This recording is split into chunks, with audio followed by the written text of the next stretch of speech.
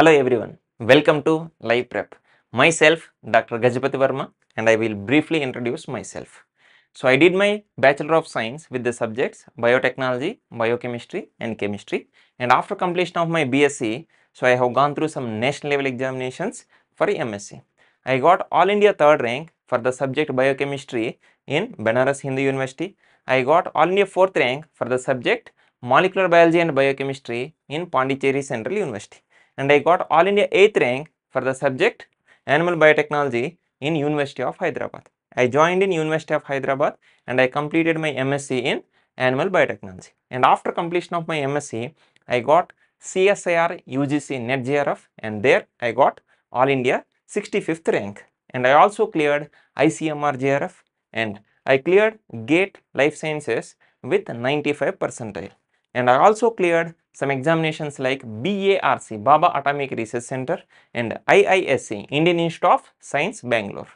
And finally, I have joined in University of Hyderabad for my PhD and successfully I have completed my PhD from University of Hyderabad in Animal Sciences.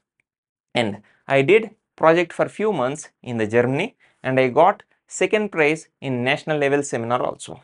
And and if you are simply typing my name in the Google, so you will get a page related to the researchgate.net. So in that if you are observing, so you can find all these three publications. Total I have three international publications.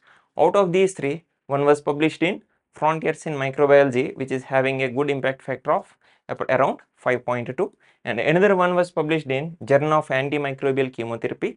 Actually it is Oxford University Press Journal and it is having impact factor of around 6. So these are very good impact factor works and then I have also qualified for other examinations like Territorial Army, Andhra Pradesh Police Services, Indian Railways, Andhra Pradesh Public Service Commission and Food Corporation of India. Not only this, I have cleared many other examinations also. And this is about my teaching experience for the first few years. So I am in the Latur, Maharashtra.